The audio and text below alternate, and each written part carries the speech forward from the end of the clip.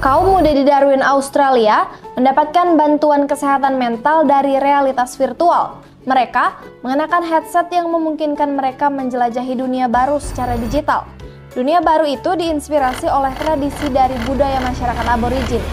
Dilansir dari VOA Indonesia, wilayah ini memiliki salah satu tingkat bunuh diri tertinggi di negara ini, khususnya kaum muda, aborigin dan kepulauan Selat Torres. Dengan headset ini, setelah mereka mengenakannya, ruangan di mana mereka berada seakan-akan menghilang dan mereka tenggelam dalam dunia virtual yang benar-benar baru.